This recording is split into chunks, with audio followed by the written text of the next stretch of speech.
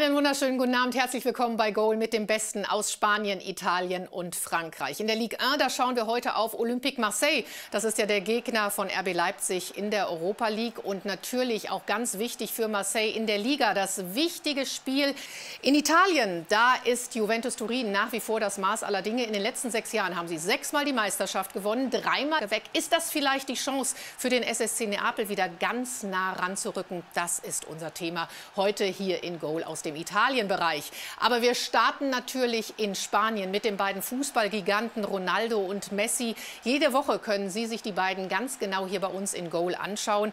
Ja, kann man die beiden eigentlich schon mit Maradona und Pelé vergleichen? Sie haben die Möglichkeit, jetzt noch mal ein Auge drauf zu werfen. Mein Kollege Hans-Joachim Wolf beginnt im Camp Nou. Juventus Turin können Sie am kommenden Sonntag live verfolgen und zwar im Duell gegen Sampdoria Genua. Das Ganze gibt es auf Sport 1 Plus ab 17.55 Uhr.